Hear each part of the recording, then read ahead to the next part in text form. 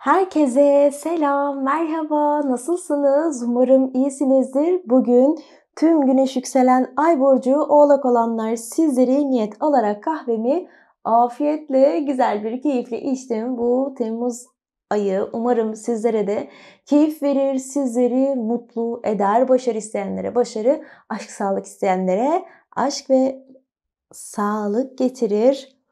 Umarım. Şöyle bir bakalım bakalım neler var. İyi düşünüyorsunuz. Ama bir şeylerin etkisinden kurtulamadığınız için yani hani yeni bir şeyler olsun hayatımda, güzellikler olsun. Aşk olur, iş olur, eğitim olur. Ama bazı düşünceler sizi çok huzursuz ediyor sevgili arkadaşlar. Umarım bundan kurtulursunuz. Yani aha kurtulamıyor muyum ondan mı böyle söylediğin gibi bir şey aklınıza gelmesin. Bu tamamen bireysel çabayla alakalı sadece öyle bir ruh hali var. Ama kötü mü görünüyor? Hayır. Bakın içiniz zaten tertemiz görünüyor. Burada Temmuz ayında özellikle bakın bazı burçlarda küçük bir başlangıç varken sizde büyük bir başlangıç var ve çok hızlı ilerleyebilir. Hani şöyle söyleyeyim kimisi bütün parayı toplar öyle ev yapmaya girişir. Kimisi eline para geçtikçe hemen hemen evi yaptıralım. Hemen işte altını yaptıralım, üstünü yaptıralım, şunları yaptıralım. Elinde böyle para geçtikçe bir şeyler yapar. Siz de onun gibi yani toplu bir şeyi beklemekle uğraşmıyorsunuz.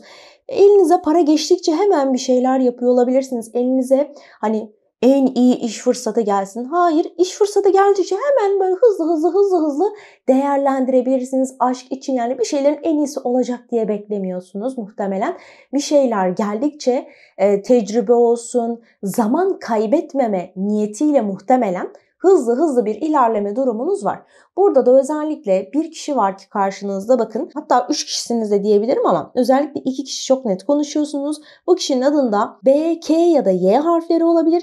8, 18, 28'de ya da 5 yani 5, 15, 25'te ama daha çok 8'li vakitlerde bu kişiyle yaptığınız konuşma sizin dünyanızı, hayatınızı resmen aydınlatıyor diyebilirim. Ve öyle bir şey ki haneye daha çok yani e, katkısı var. Evet dışarıdan gelen bir değişim, bir başlangıç, bir konuşma olabilir ama bunun ışığı daha çok eve yani dışarıda çalışırsınız ama para eve gelir. Para dışarıda yenmiyor da hanenin içerisinde yeniyor biraz daha. Onun gibi bir olay diyebilirim. Şimdi şuradan bir başlayalım bakalım. Yoğunluklarınız daha çok sağ tarafta. Yani ben zamanımı, vaktimi beni üzen, endişelendiren olay ya da insanlara değil, bana katkı sağlayacak olaylara ayırıyorum. Demek ki tembellik falan yok bu aralar. Hem sizin hem de e, oğlak burçlarının sevdiği, etrafındaki ailesi olan insanlara da bu dönemde sizlerin çok büyük bir katkısı dokunabilir. Böyle yanlış yolda gittiğiniz, tembellik yapıyor. Çok önemli bir dönemde yani niye böyle yapıyor ki? Çalışması lazım.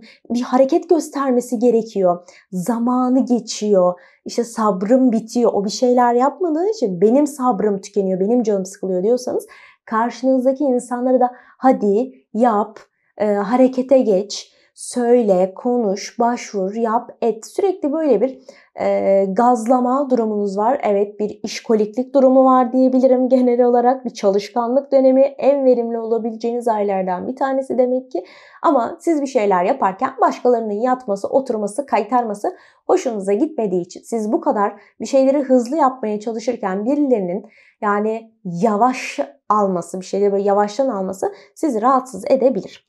Buraya geldiğimde karşılıklı iki tane yolunuz var. Aynı anda ilerliyor. Yani aşkla iş aynı anda gidiyor. Parayla aşk aynı anda gidiyor gibi gibi işte iş ve okul aynı anda gidiyor. Sanki böyle aynı anda iki iş, iki olay, iki insan, iki ilişki, ikiz çocuklar, iki çocuğun aynı anda büyüyor olması gibi durumlarınız olabilir. Ya da arka arkaya iki tane yola gitmeniz ya da bir şehirden başka bir şehire gitme ya da bir şehire gittiniz Temmuz ayında sonra başka bir şehire uzak yerlere gitme gibi olaylarınız olabilir ama bakın bunların birbirini takip ediyor. Bir tanesi belki biraz daha keyfi olabilir. Hani bir yere uğrama gibi olabilirken. Diğeri biraz da arkadaşlar kapı görevi görüyor. Şurayı görüyorsunuz. Buraya geldiğimde en başta burada bakın şurada fotoğrafını görebileceğiniz bir uçak var. F-16 gibi. Bakın arkasının şeyi genişliği burasının bu kadar e, jilet gibi olması. Tabii ki çok büyük bir hızlanmayı anlatıyor. Büyük bir başarıyı Hedefinizi çünkü ucu sivri olan her şey hedefe yönelik olmayı anlatır. Sizin de burada hedefiniz sağa doğru bakın. Yani güzel olsun iyi olsun. Ki bakın başlangıç kısmı sol tarafta. Demek ki eksiden geliyorsunuz. Kavgayla başlamışsınız. Nefretle başlamışsınız. Sıkıntıyla geliyorsunuz. Borçlu olarak başlamışsınız belki de. Ve bu olay her neyse siz bunu artıya çekiyorsunuz. Böyle bir gündeminiz var. Yani kavgayla başlayan ilişkilerin aşka dönmesi. Şu anda belki kavgalısınız, uzaksınız, mesafeler var, görüşemiyorsunuz. Yani hani görüşsek bir derece. Ama o da yok yani bakın çok geriden gelerek başlanılan bir şeyler var. Bu maddiyat olabilir, iş, eğitim, kariyer, yatırımlarınız, iş kuracağım artıya geçmek için ama şu an ben eksideyim Demek ki bu süreçte bakış açınızı değiştirmek ve bazı insanları özel çünkü çok fazla insan yok burada. Olay var ama insan yok. O yüzden biraz daha insanları temizleyip de başlayacağınız şeyler var. Demek ki insanlar demin de çıktığı üzere e, sizi yavaşlatıyorlar. O yüzden sizi yavaşlatan, maddiyatınızın akışını yavaşlatan, e, işinize engel olan, işte siz dediniz ki ben bir haftada bunu bitireceğim. Size aman boş ver sonra yap sonra et, aman önce gel benim işimi yapalım diye diye sizin böyle sürecinize zarar veren insanları biraz hayatınızdan atıp kendi işinize baktığınız ve kendi planlarınıza odaklandığınız bir dönemdesiniz. Onun haricinde güzel kocaman bembeyaz bir kısmetiniz var ama bu biraz daha ağız kısmından böyle çok yumuşak göründüğü için söylüyorum. Biraz daha Yunus gibi görünüyor sevgili oğlak burçları.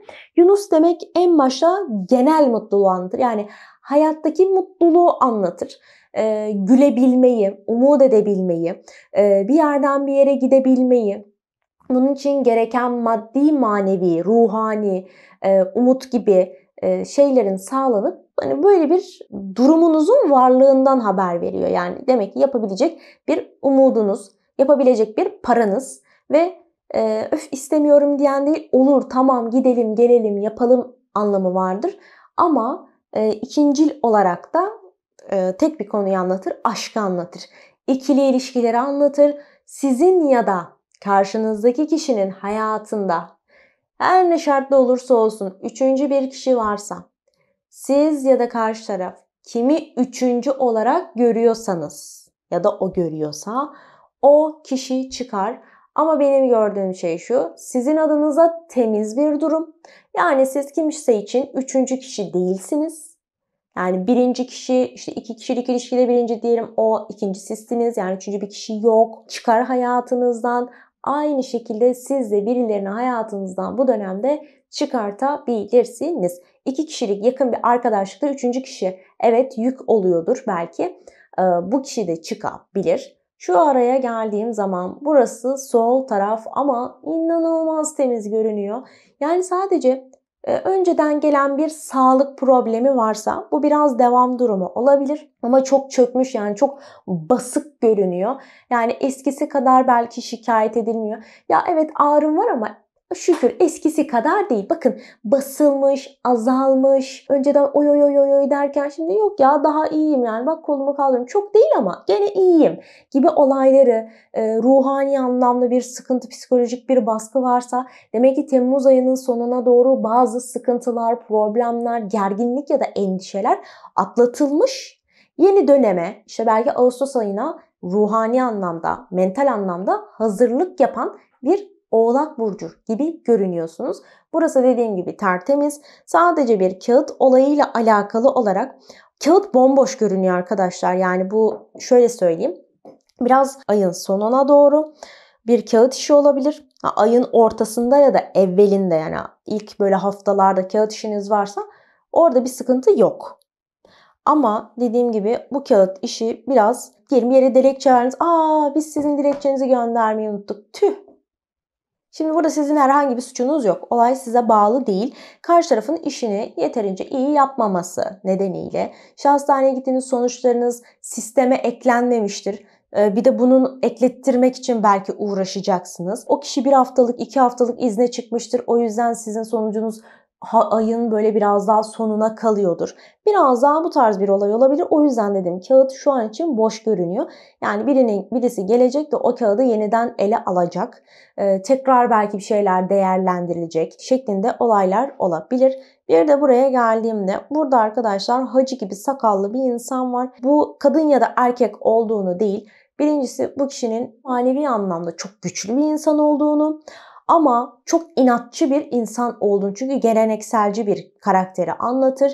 E, asla yeniyi kabul etmez. Aklında bir erkek modeli, kadın işte bir kadın modeli, bir erkek modeli. Çocuk mutlaka böyle yetişmeli. Aksi kestiyen, yani katiyen olmaz. İşte yani böyle çok belli kalıpları olan, çok böyle inatçı, dediğim gibi geleneksel e, bir karakteri ama manevi yönü de çok kuvvetli olan bir insanı anlatıyor. Bu dönem içerisinde bu kişinin size çok fazla iyiliği dokunabilir. Bakın arka arkaya hatta iyilikleri dokunabilir. Ee, ve adında soyadında çok bariz bir şekilde E harfi olan birisi. Bir de şurada gene bir E var bakın. Yani E ve A harfleri var buradan. Nasıl? Zaten E görünüyor. Has, bugün bunu göremeseniz bile şuradaki E harfi bariz belli. Bakın görünüyor. Burada da E var ama bakın tık tık tık şu yukarısı birleştiği için aynı zamanda E'ye de benziyor. E ve A harfi olan başka da yani böyle çok net diyebileceğim bir harf görmedim. Sadece şurada belki bir O harfi diyebiliriz ama o kadar da net değil. Daha çok bu harfleri barındıran bir kişi, bir kadın olduğun, yani bir kadına mı benziyor ne? Bu tarafa bakan ama. Saçları uzun gibi görünüyor. Bu tarafa bakan ee, ve bakın sizin aklınız o kadar düşünüyorsunuz ki geriye doğru uzamış bu kişiyle sizin aklınızda, aklınızın altında kurduğunuz o dünyayı hep böyle artıya çıkartacak bir insan bu.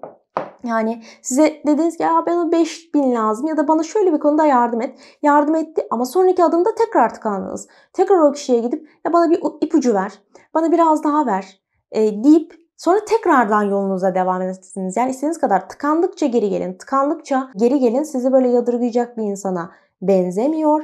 Ve e, bu kısmı zaten bahsetmiştim. Bu arada bakın bir zirveniz çok net bir şekilde görünüyor.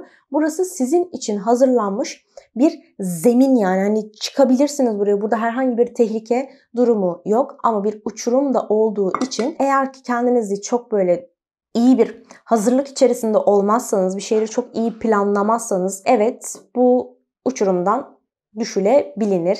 Yani kendinizi, maddiyatınızı, maneviyatınızı ayarlayın. İşte ayağınızı yorganınıza göre uzatın diyebilirim. Sonradan pişman olacağınız seçimler yapmayın. Şimdi burada evet gene bir e, görüşme olayı var. Bakın bir aydınlık görüyorsunuz. Ge- ge- gelecek kısmından haneye doğru resmen böyle yayılıyor yani. Bu da sizin e, özellikle de 1, 7, 8, 15 muhtemelen o şekilde olur. 8, 14 olabilir. Yani o haftayı söyleyeyim. 8'inden sonra ayın ortasına kadar ki ikinci haftada sizlerin büyük bir rahatlamanız olabilir. Bir başlangıç yapmak adına bir bir şey ya böyle açıklanıyor. Çünkü aç, yani temiz görünüyor. Bilinmeyen bir şey ortaya çıkıyor. Birisi sizi seviyor mu sevmiyor mu bunu öğrenirsiniz. Yani o aklınızdaki soru işaretleri yavaş yavaş temizlenir. Burada da bakın bir şey açıldı. Sağ taraftan açıldı. Dediğim gibi yani karanlık bir şey varsa bu açılır. Yani ne kadar ödeme alacağınızı bilmiyorsanız işte bu tarihte yani bu Temmuz ayında ona keza açıklanabilir. Buraya bakalım. Niyetiniz çok çok güzel görünüyor. Biraz dediğim gibi akışınızı ilerleten, ilerlemenizi engelleyen insanlar var.